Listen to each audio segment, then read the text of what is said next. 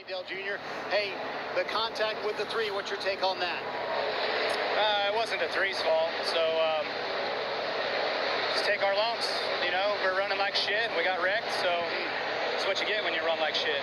And it just shouldn't be there. I, I don't know what our problem is, but every time we go to sim and use sim and think we have a good sim session, we go to the racetrack and we suck. So I'm done with that, and um, we'll have to use some other tools on figuring out how to be good. But the M&M's Camry was not very good, and we are running terrible, and we got wrecked. Wasn't the three's fault.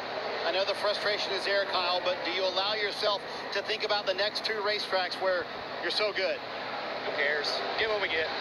All right, Kyle Busch does have 14 wins at the next two racetracks, but clearly very frustrated, saying not Austin Dillon's fault. It was the fault of the race team. Car was not good enough tonight. We apologize for the language. I apologize to you, Marty. There are two Austin Martys that I Right, I still love you. It's okay. Yeah. That's what happens when you know two great Martys. Yeah. There you see the there you see the contact. And I was really surprised that Kyle said that was no fault Yeah. of the three Well, car. Yeah, and as I saw that a little bit more, and not to interrupt you, but you can see Kyle Busch was having to turn his car down. So obviously his car wasn't wanting what he wanted. He didn't give Austin Dillon any